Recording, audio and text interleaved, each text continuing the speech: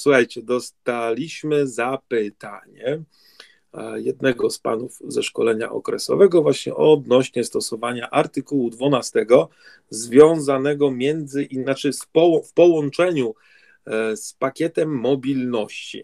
Teraz, dobra, artykuł 12 myślę, że kierowcom, którzy jeżdżą, tak jak wy, nie trzeba za dużo tłumaczyć, e, czyli mamy odstępstwo od warunków socjalnych związanych z bezpieczeństwem ruchu drogowego. E, I w artykule 12 już tak na razie ogólnikowo na koniec wrzucę, wrzucę slajd, dokładny, dokładny zrzut e, rozporządzenia 561, ale mamy możliwość, w, w, znaczy teraz w myśl, w myśl pakietu mobilności, mamy możliwość wydłużenia okresu jazdy dziennej lub tygodniowej. I to już jest ważny zapis, czyli możemy przedłużyć sobie o godzinę lub o dwie godziny jazdy dziennej, czyli jeżeli mogłem dzisiaj 9, to 10, jak 10 to 11, lub jak mogłem 9, to plus 2, czyli 11 i tak dalej. E, ale po sumowaniu, czyli przekroczę czas jazdy dzienny, przekroczę czas jazdy tygodniowy, czyli zamiast 56 mogę o tą godzinę dwie więcej i koniec. Nie mówi się o dwutygodniowym, czyli nasza suma godzin e, z bieżącego i z poprzedniego tygodnia i tak musi się zamknąć w 90. To jest jedno, ale drugie, to co standardowo w artykule 12, pod warunkiem, że nie stanowi zagrożenia bezpieczeństwa ruchu drogowego, są to wyjątkowe sytuacje. E, I pakiet mobilności daje nam tu dodatkowy zapis, że tylko i wyłącznie przy powrocie do miejsca zamieszkania lub do bazy przedsiębiorstwa, dodatkowo przy tej powrocie konieczny jest odbiór odpoczynku tygodniowego i albo 24, albo 45 godzinnego. I plus na końcu mamy zapis, musimy sobie tą różnicę godzin, którą dojechaliśmy, zre... przepraszam, oj się zakrztusiłem, Plus mamy taki zapis, że musimy tą różnicę tych godzin, którą sobie dołożyliśmy, zrekompensować równoważnym okresem odpoczynku. I teraz jak się to je? Cztery, cztery przykłady. Przykład pierwszy, czyli nazwałem to godzina plus, tak? Ostatnio z plusami mamy wszystko w naszym kraju, więc mamy godzina plus. I taki przykład. W pierwszym tygodniu pan kierowca wyjeździł 45 godzin jazdy, Czyli w drugim tygodniu mam również do wykorzystania 45 godzin jazdy, tak? Bo do 90 godzin w dwóch tygodniach. Wyjechałem już 40 godzin w tym tygodniu, czyli mam jeszcze 5 w zapasie. Zbliżam się do domu e, i zbliżam się do 9 godziny jazdy w danym dniu i to jest mój maks, który mogę dzisiaj wykorzystać. Pozostało mi około 50 km do celu. I teraz tak, znowuż mamy jakieś zdarzenie na drodze związane z bezpieczeństwem ruchu drogowego. Był wypadek, zastosowano objazd. Ok, zastosowałem się, objechałem, skończył mi się mój czas jazdy dzienny. E, mogę się zatrzymać i załóżmy w danej chwili wykorzystać mój odpoczynek dobowy. Tylko ja mam raptem 50 km do dojazdu. W związku z tym zastosuję odstępstwo. Wydłużam mój czas jazdy o godzinę, bo na te 50 km zakładam, że spokojnie mi wystarczy. Dojeżdżam do miejsca zamieszkania, parkuję, wykonuję wydruk, robię dokładny opis zdarzenia, czyli artykuł 12 561 na 2006 i opisuję, że go, od godziny tej był wypadek, zastosowano objazd, droga taka, kilometr taki, od godziny do godziny, wykorzystuje dojazd związany z odstępstwem. I teraz co się z tym dzieje? Jeżeli wykorzystałem tą godzinę, to muszę wykorzystać co najmniej 24-godzinny odpoczynek tygodniowy, czyli mój skrócony, i plus dodatkowo ciąży na mnie, tak jak mamy mm, rekompensaty z odpoczynkami tygodniowymi. Jeżeli tutaj wykorzystałem o godzinę więcej, to tą godzinę muszę również sobie zrekompensować wraz z innym odpoczynkiem trwającym co najmniej 9 godzin, najpóźniej niż przed upływem trzeciego tygodnia po którym nastąpiło wydłużenie o tą godzinę. Ja mogę to sobie dodać z automatu do następnego odpoczynku, nie ma problemu, tylko należy pamiętać, że przed upływem trzeciego należy tą godzinę sobie dołożyć. Drugi przykład mamy, że mam do wykorzystania dwie godziny. I teraz tak, w pierwszym tygodniu jeździłem skromnie, wykorzystałem 33 godziny jazdy. Teraz mamy drugi tydzień, gdzie wiem, że będę zjeżdżał do bazy przedsiębiorstwa. Wykorzystałem już ponad 50 godzin jazdy. Zbliżam się dzisiaj do mojego maksymalnego wykorzystania 10 godziny jazdy i pozostało mi, załóżmy, około 100 kilometrów jeszcze do zjechania. E, natrafiłem na remont drogi, e, jakieś wahadło, objazd i tak dalej.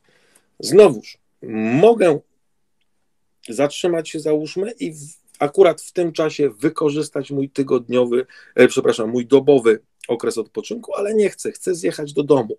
Mogę wykorzystać dodatkowe dwie godziny, tylko zanim ją wykorzystam, przepis mówi, że zanim te dwie godziny będę jechał, muszę dodatkowo odpocząć co najmniej 30 minut. I teraz, dobra, ma być minimum 30 minut, ale tutaj należy sobie e, rozróżnicować. Jeżeli wykorzystałem 4,5 godziny jazdy już, to normalnie muszę wykorzystać 45-minutową przerwę, mimo że przepis mówi o co najmniej 30 minutach, ale jak każdy wie, po 4,5 godziny jazdy jestem zobowiązany do wykorzystania co najmniej 45 minut i dopiero po tym czasie mogę wydłużyć mój czas jazdy o te dwie godziny. Dojeżdżam do, mojego, do mojej firmy, wykonuję wydruk, opisuję dokładnie zdarzenie i teraz, jeżeli wykorzystałem o dwie godziny więcej, to niestety muszę zatrzymać się na 45-godzinny odpoczynek, czyli nasz normalny, regularny.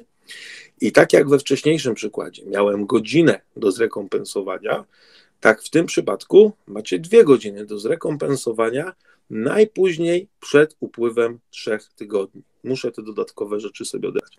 I teraz tak, Standardowo mamy opisane, że wydruk wykonuje po zjechaniu na końcu, ale nie wiem, w tym przypadku mnie tak się wydaje.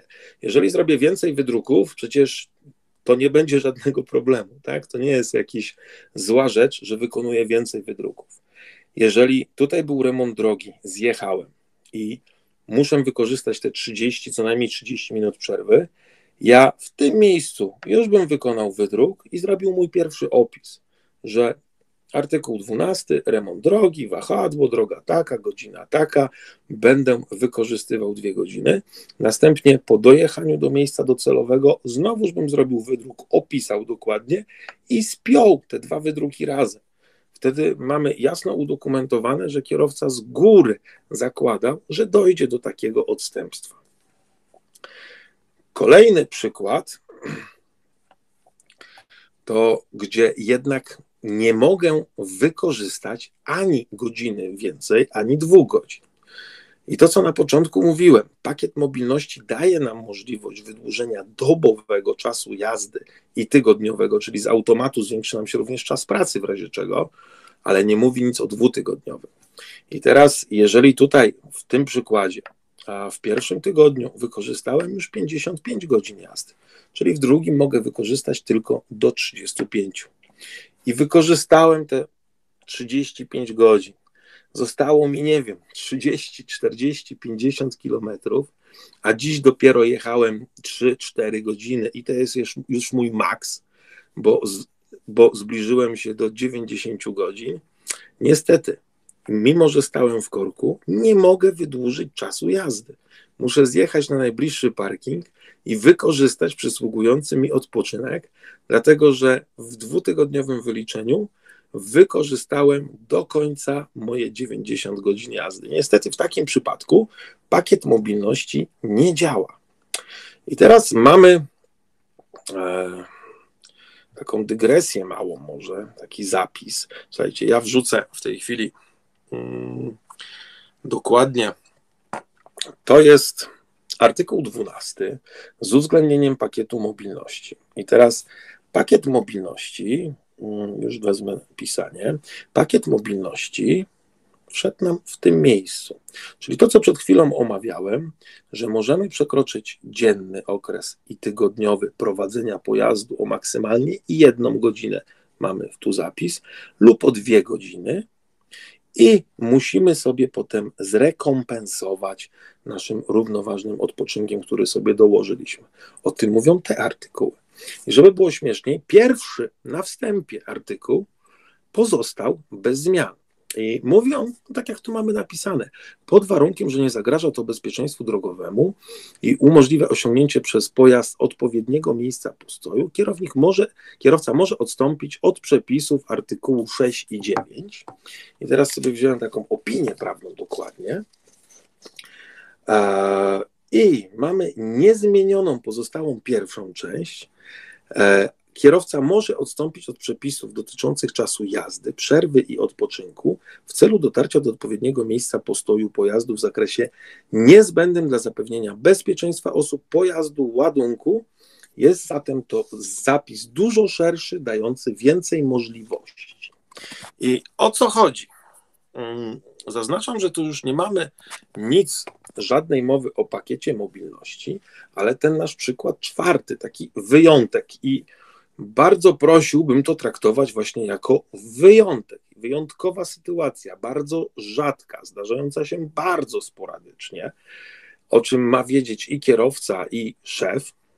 I tutaj rozpisałem to w przypadku dojazdu z cennym ładunkiem, tak? Czyli nie wiem, mamy naprawdę coś wartościowego, wracamy do bazy przedsiębiorstwa, aby dostarczyć ten ładunek. I teraz tak, w pierwszym tygodniu wykorzystałem 51 godzin jazdy, w drugim tygodniu 39 godzin. Zbliżam się do dziewiątej maksymalnej godziny mojej jazdy. Czyli mamy 90 godzin wykorzystane w dwutygodniowym rozliczeniu, maksymalny już mój 9-godzinny okres jazdy dzienny, ale pozostało mi jeszcze 80, 90, 100 kilometrów. I teraz tak, muszę zatrzymać się i odebrać odpoczynek, e, bo skończył mi się czas jazdy wszelki pakiet mobilności nie umożliwia mi takiego stosowania się, ale ten artykuł 12 na wstępie nic nie mówi o takich rzeczach. I, I, zakładam, że nie mam strzeżonego parkingu, żadnego dostępnego. Natomiast miejsca na parkingach publicznych są pozajmowane. Późna godzina. Zostało mi te 90 km do celu. Zastosowalibyśmy właśnie to odstępstwo. Pierwszą część artykułu 12. Kierowca może odstąpić od przepisów dotyczących czasu jazdy, przerw, odpoczynku w celu dotarcia do odpowiedniego miejsca w zakresie niezbędnym dla zapewnienia bezpieczeństwa osób, pojazdu lub ładunku. Czyli tutaj zarówno ładunku, jak i osób, czyli mnie jako kierowcy, bo jadę z wartościowym ładunkiem.